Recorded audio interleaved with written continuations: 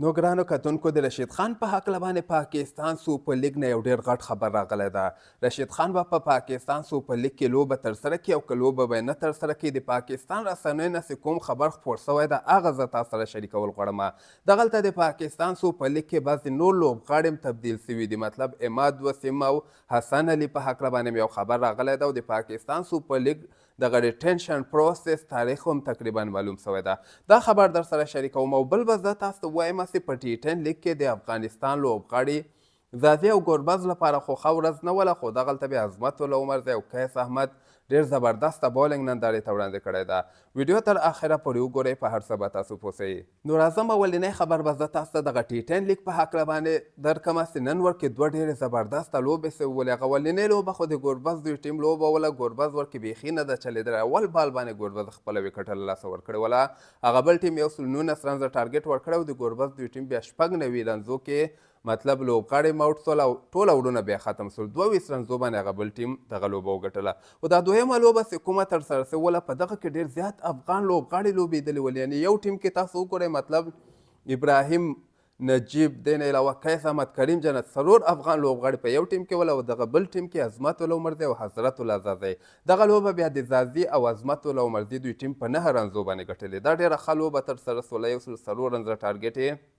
د ځاځي دوی ټیم د نجیب او کریم جنت او د قیس احمد دوی ټیم ته ورکړی او دلته وګورئ ځاځي پنځلس بالو باندې شل رنزه کړي دوه شپږیز یې وهلي دي یعنې دومره خاص بیټنګ یې نه ده کړی ښه ده ګلزار هال بیټنګ یې کړی دومره خاص بیټنګ یې بیا نه ده کړی کورن منرو پنځلس بالو باندې شپږ دېرش رنزه کړي دي دلته بالرانو کې وګورئ ټول نه بهترینه بولینګ قیس احمد کړی دوه وړو کې صرف دولس رنزه ورکړي او دوه لوبغاړي اوټ کړي دي کریم جنت بیا دوه وړو کې شپږ ویشت رنزه ورکړي یو لوبغاړی اوټ کړی ده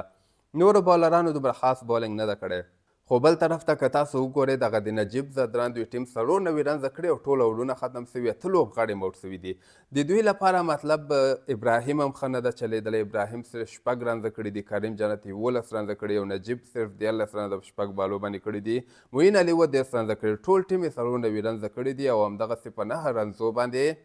ځاځي او د عظمت الله عمرزي دوی ټیم دغه لوبه ګټلې ده. د دوی لپاره عظمت الله عمرزي دوه وړو کې اتلس رنزه ورکړي، یو لوبغاړی اوټ کړی ده. دې نه علاوه انجلو میتیز دوه وړو کې نولس رنزه ورکړي، درې لوبغاړي اوټ کړي او جیمي نیشان هم دوه او میتون هم دوه لوبغاړي اوټ کړي دي.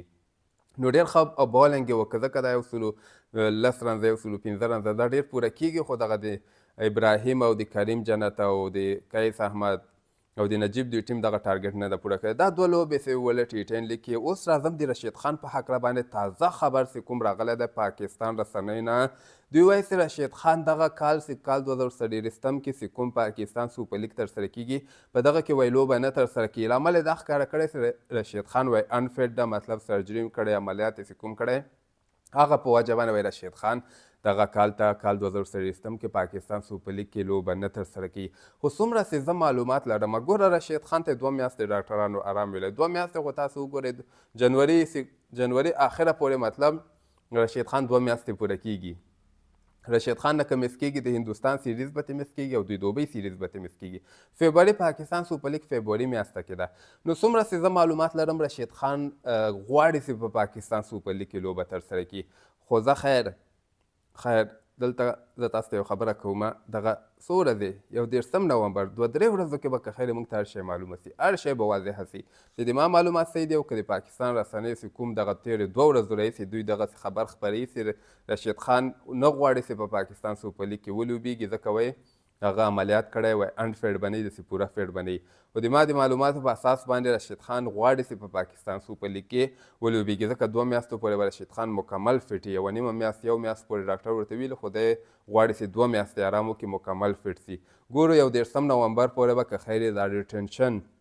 ریټینشن پروسس به پوره سي چې کوم کوم لوبغاړي پاکستان سوپرلیګ کې دغه ټیمونه ځان سره ساتي دغلته به زه تاسو ته یو بل خبر هم درکړم چې د پاکستان سوپرلیګ کې خو نسیم شاه باندې هم خبرې ډېرې زیاتې روانې دي وایي هغه اسلام آباد ته روان ده او یو بل تبدیلي سوې ده چې دلته مطلب حسن علي مخکې اسلام آباد کې و دی کراچۍ ته ورکړی او کراچۍ والا عماد وسیم چې کوم ده هغه بیا بېرته دوباره هغه ته راغلی عماد وسیم اسلام آباد ته راغلی او حسن علي هلته کراچۍ ته ورغلی دغه تبدیلیانې سوي دي کیدای سي راتلونکي دوه درې ورځو کي نور داسي لوبغاړي هم بدل را بدل سي نو که ویډیو هم خوښه سوي اتمن یې درسره لایک کړئ نورو ملګرو سره هم شریکولای سئ نور ښه وخت ولرئ الله پامان.